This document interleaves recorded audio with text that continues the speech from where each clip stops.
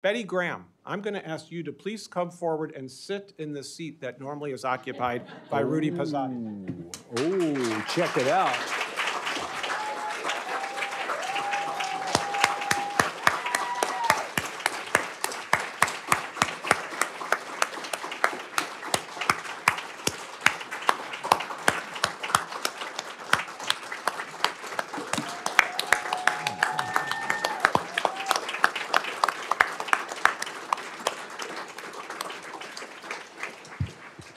Okay, wait, wait, no.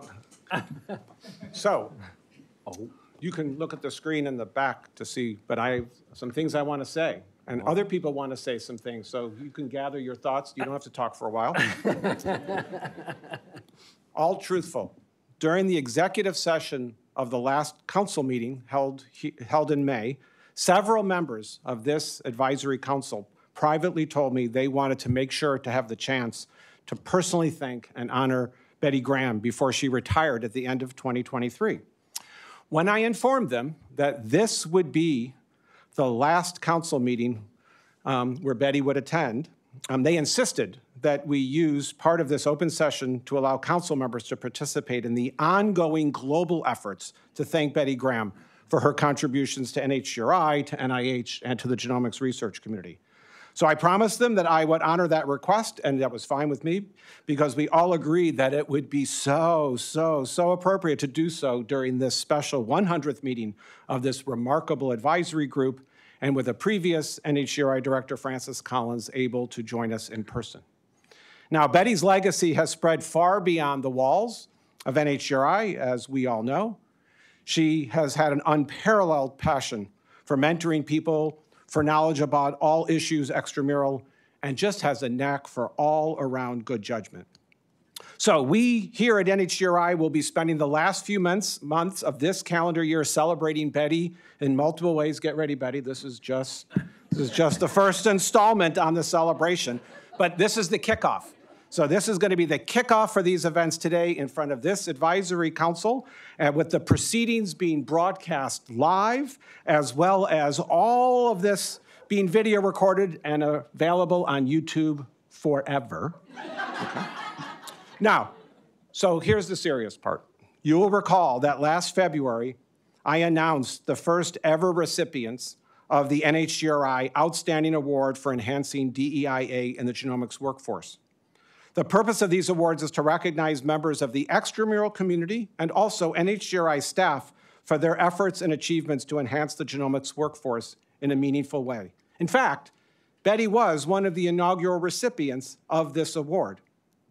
Well, Dr. Mike Boehnke, Francis knows well, at the University of Michigan, who worked with Bettie for more than 20 years on their genomics training grant and previous member of this advisory council, said it well then when I announced the things that were said about Bettie in her nomination for that award. He said, Bettie's kindness, generosity, and absolute commitment have inspired us all. Well, today, I am formally announcing, and I'm delighted to do so, announcing that NHGRI will be renaming this awards program to the Bettie J. Graham Leadership Award for enhancing diversity, equity, inclusion, and accessibility in the genomics workforce.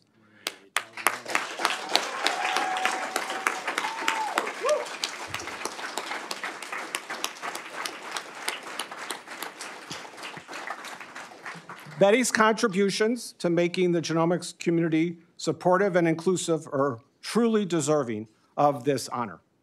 Uh, to give you a flavor of what this is going to look like when we make the awards, um, the inscriptions will look like this for the established extramural investigator, for the early stage extramural investigator, and for the NHGRI Staff Award.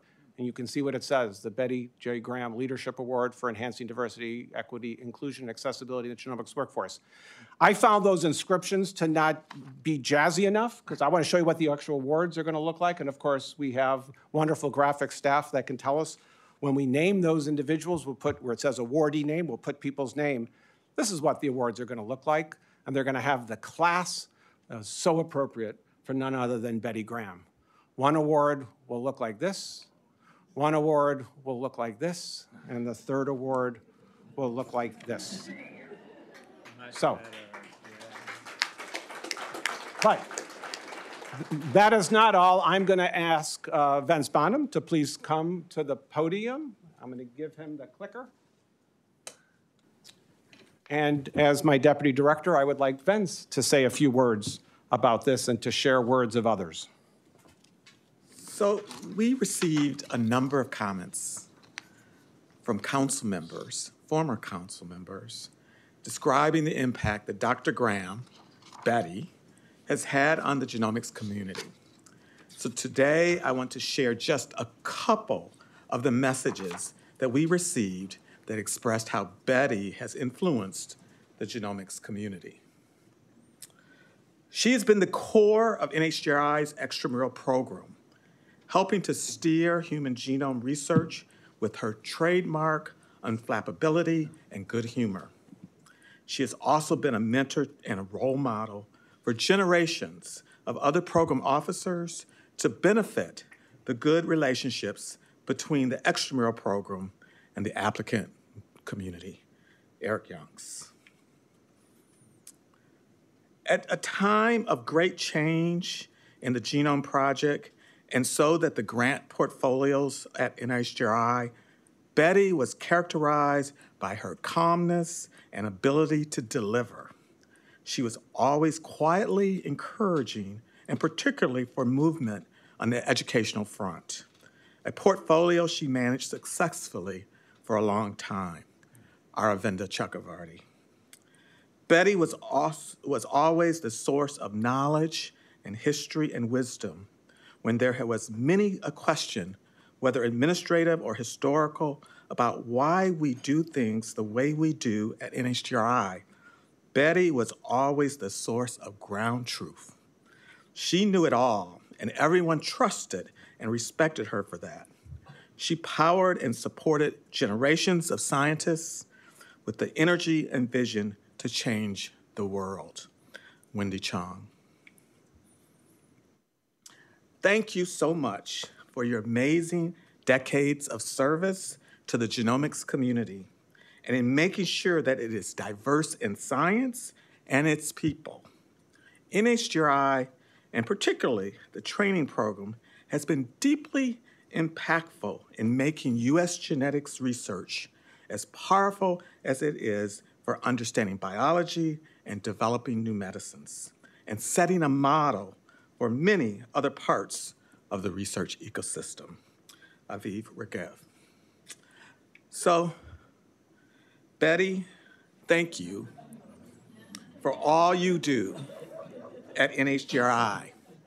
Thank you for the work you've done with grantees over the years, with trainees, and as on all the Institute staff here in the room and that are not in this room, we want to thank you for all you've done for our Institute.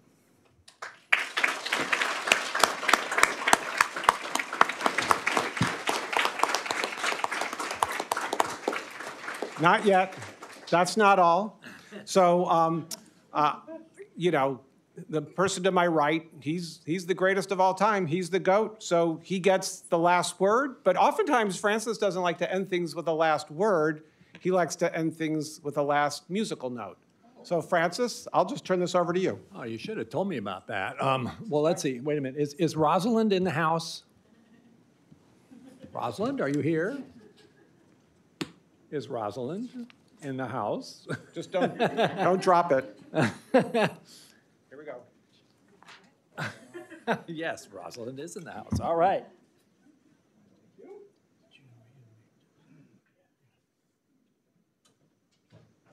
Okay.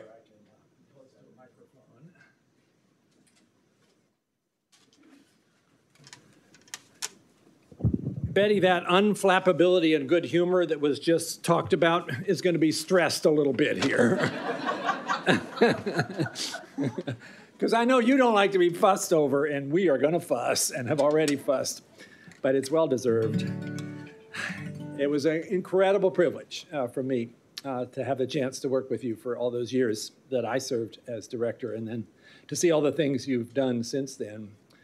And Bettie, as a person who had, as was pointed out, this remarkable judgment, this ability to look at a complicated situation and figure out what's the right thing to do, you could always count on that. And also, had the wisdom and the perspective uh, when something came along to kind of remember we might have had something like that before, and here's how we managed it.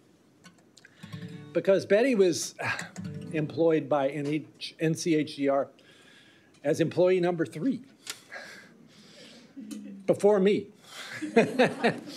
so I learned from her from the very beginning, and I know all of you in this room have learned from her ever since. So sort of had to be a little song here to go with this.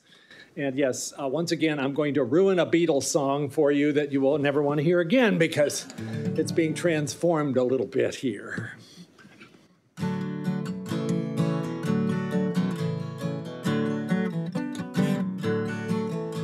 To cheer for Bettie and to sing for you, to celebrate the things that you do. Yes, it's true.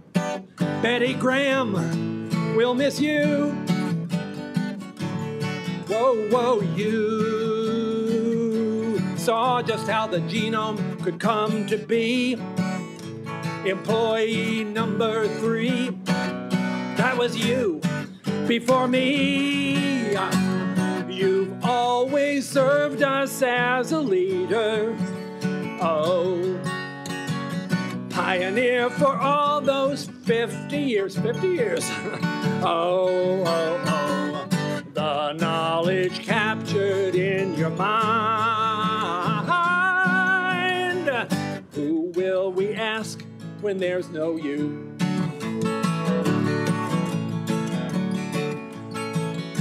Whoa, whoa, you started here at NIH in 74 after some time in the Peace Corps, and you soared. Uh, Bettie Graham, yes, you soared. Whoa, whoa, you helped a mouse plan turn into a map. Not content to stop with that. Lots of grants, lots of tech, and trainees. Lots of trainees, amazing trainees, diverse trainees. Let's hear it about trainees, yes. Whoa, whoa, yeah. If that wasn't already immense, we hear that you can also fence. On guard, lunge. Can't you see that when we tell you that we love you, Oh, it's nothing but the total truth. Oh, and though we hate to say goodbye, Bettie, we wish the best for you. We wish the best for you. We wish the best for you. Oh, Bettie. We all wish the best for you.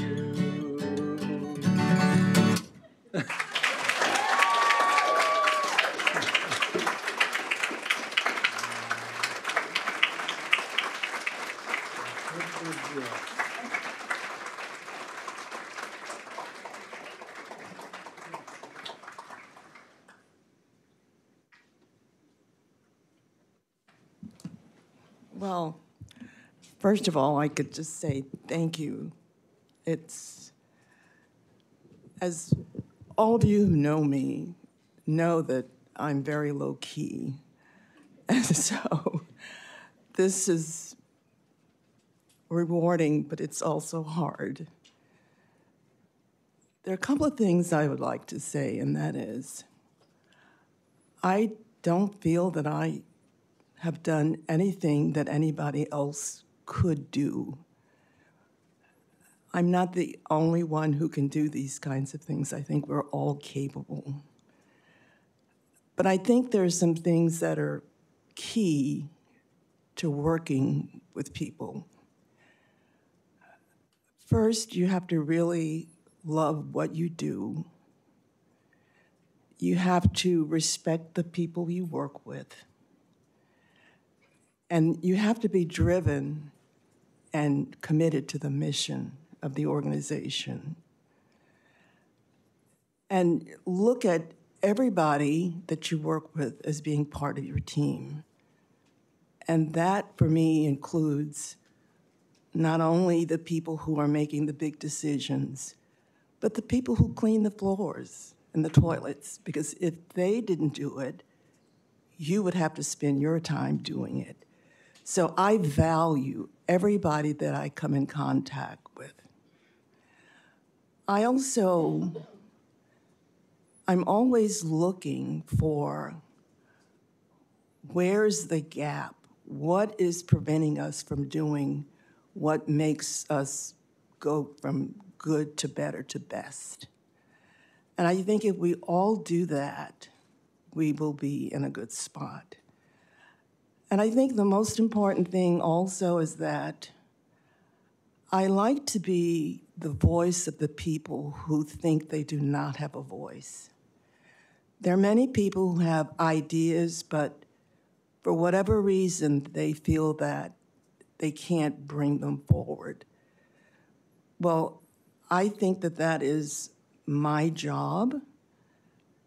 And if I bring something forward and it's ridiculous, I, I can take acceptance or rejection. But I think unless things are brought before people to say, here's a problem we have, let's fix it, that is what I feel that I bring to the table and that anybody could bring. If you open your eyes and you respect people and you have a commitment to your job, I have to tell you that every day is not going to be a really good day. There are, there are times when I go to bed at night with a problem and I wake up in the middle of the morning wide eyed and trying to fix it.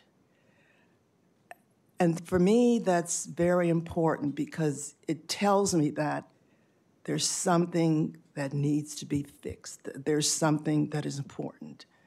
And I think unless you have a sense of this is really important and I'm going to try to do my part to make it better, that's where we all belong. And I think all of us are capable of doing that. You just have to do it. I, I also have to say that throughout my life at NIH, I have been supported by the people I work for. They have respected me. And that also sort of gives me the, the oomph to keep going, even if sometimes I have crazy ideas. But the, those are the things that help you to move things forward and make you a better person as well. So this has been a wonderful experience. And as I say, I hope everybody at their time of retirement will feel that they have done the best that they can to make the place where they work and the people they interact with much better. So that's all I have to say, and thank you, thank you, thank you.